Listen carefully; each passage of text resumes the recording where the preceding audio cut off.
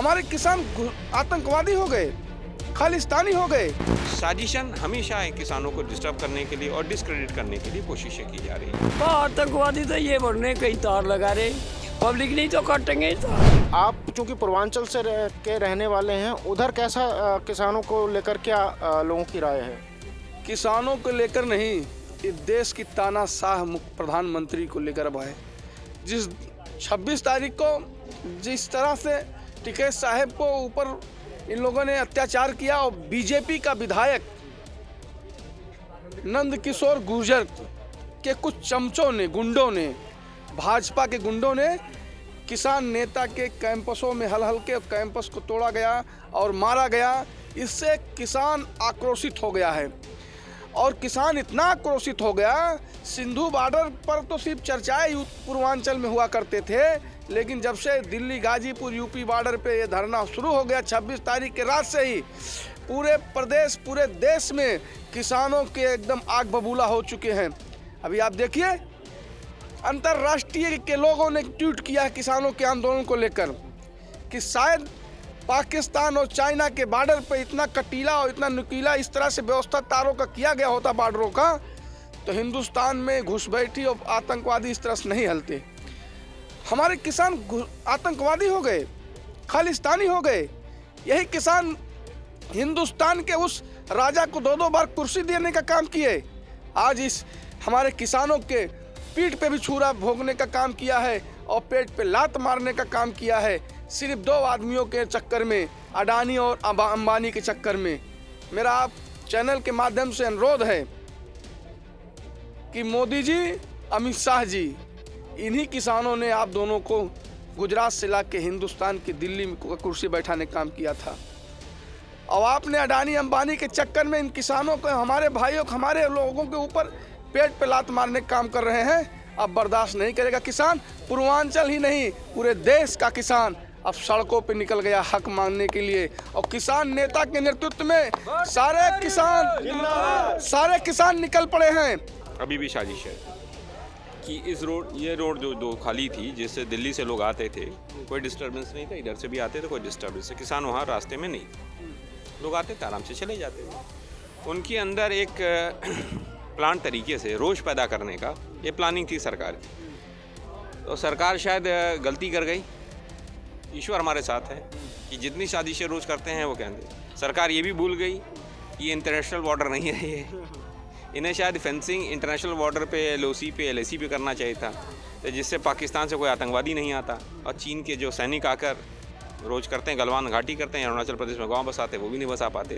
तो जितना बंदोबस्त यहाँ किया हुआ है, उतना ही लेयरिंग ऑफ़ वो करते अगर बॉर्डर्स पे इतने इन्वेस्टमेंट वहाँ करते तो ज़्यादा फ़ायदा होता। ये किसान यहाँ शांतिपूर्ण तरीके से, गांधीवादी तरीके से बैठे हुए हैं।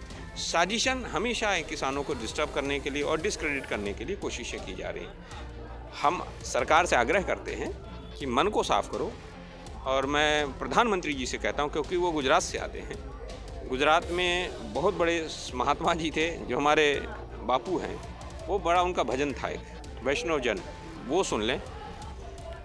रघुपति राघव राज, राजा राम जी का भजन सुन लें, जो गांधी जी का प्रिय भजन था, और उसके साथ गाँव गीता, ग्राम गीता को पढ़ लें। ये तीन चीज़ें पढ़ेंगे तो मन बड़ा साफ़ होगा, क्योंकि हमारे बुज़ुर्ग हैं। हम उनको ज़्यादा ज्ञान भी नहीं दे सकते, क्योंकि हम हमारे ताऊ की उम्र के हैं। तो मोदी जी एक तरीके से हमारे ताऊ ही हैं, हम लोग उनके बच्चे हैं। तो मैं आग्रह करता हूँ मोदी जी से कि मन साफ़ करें और अंबानी अडानी के प्रेम से ऊपर आएँ, इन किसानों की बात सुने, तीन काले कानून वापस लें एमएसपी गारंटी कानून हमें दें, हम अपने आप चले जाएँगे। जी। मैं भारतीय जनता पार्टी में था, वो छोड़, यहाँ पे आके छोड़ा है मैंने। आए हैं वहाँ के मुख्यमंत्री भी हैं जी। वो किसानों के साथ देखिए जो वर्तमान सरकार है, केंद्र और राज्य की सरकार है, वो इन कानूनों को सही बता रही है। लेकिन किसान जो हैं, पता है कि इस कानूनों से दो लोगों का फ़ायदा होना है, वो है अंबानी, अडानी, और इसके अलावा किसी और का फ़ायदा नहीं होना।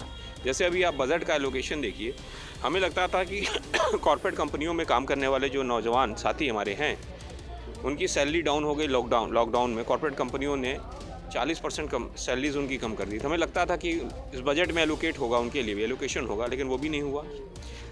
उनके लिए कोई बजट पैकेज नहीं आया। लेकिन कॉरपोरेट के लिए पैकेज दे रहे हैं। अंबानी, अडानी की संपत्ति कितनी बढ़ी लॉकडाउन के दौरान? इसका भी तो विमर्श होना चाहिए देश में। और कितने नौजवान साथी मिडिल क्लास के लोगों का? तो ये किसान यहाँ क्यों बैठे हुए हैं? किसान इसीलिए बैठे हुए हैं कि यहाँ पर जो एकाधिकार हो रहा है, कि कोशिशें जो सरकार कर रही है, अंबानी, अडानी को देने के, उसके खिलाफ हैं। क्योंकि इस कानून का जो तीसरा पक्ष है जो आवश्यक वस्तु अधिनियम का संशोधन, जिसमें अनलिमिटेड स्टॉकिंग है, उसका आने वाले भविष्य में सबसे बड़ा नुकसान मिडिल क्लास को होने वाला है, क्योंकि मिडिल क्लास को महँगाई की मार बहुत ज़्यादा पड़ेगी। तो ये देश का नुकसान करने पे क्यों तुल रहे हैं? ये तार लग रहे हैं। ये तो खेतों में भी लगाने कानूनन खराब हैं, जो इन्हें खेतों में भी किसान कोई लगा होगा और किसी पशु के धार लग जाएगी तो उन्हें काट देंगे ये। तो उस पर भी जुर्म है और ये इंसानों के लिए लगा रहे हैं इन तारन कितनी गलत बात इस गवर्नमेंट के दिमाग में हमें तो एक बात दिखाई दी, कुछ फ़र्क आ गया। इंगे भी और इंगे भी। और वो फ़र्क जो, वो इन पर ओले ही ओले काम करवा रहा, सोलह ये कोई कर नहीं और सोलह ये करते तो किसान ने आने की ज़रूरत नहीं थी। अब एक और इनकी बड़ी निंदनीय बात है। अब ये तार लगाए इन्होंने। लोगों ने पता नहीं इनते भी नहीं डरे। और जिस जनता के लिए लगाए थे, एक बार जनता इन किसानों पर उमड़ेगी। जनता इन कहने लगी, किसानों ने तो कहीं रास्ता रोक नहीं रखा। तब नहीं कील लगाई तब ही तार लगा रहे हो, भाई तब ही हटाओ। तो जनता ने कही तो इन्होंने पता नहीं सदबुद्धि आई होगी या किसी कुदरत ने इनके दिमाग में गेरी रहे क्यों बेवकूफ़ इस काम ने कर रहे हो? किसान ना इससे रुकने वाला, ना इस पर जाने वाला। किसान तो बड़ी संयम से बैठा, ये तो आशावादी है। छः महीने फ़सल ने कमा ले, वह खराब हो जा, फिर यो हताश होकर नहीं बैठता। फिर दूसरी बोवे फिर उसने कमावे और कुदरत उसमें पहला बारह भी काट दे, पिछला भी काट दे। तो महिमा तो उसकी है, पर कुछ आदमी ऐसे होंगे न्यू मान ले। अब हम कुछ हो गए और जो भी न्यू मान लेंगे न्यू समझो, उनका राक्षस रूप हो लिया। आतंकवादी किसानों ने बतावे थे ये पहले। बा, आतंकवादी तो ये बढ़ने कहीं तार लगा रहे, पब्लिक नहीं तो काटेंगे तार।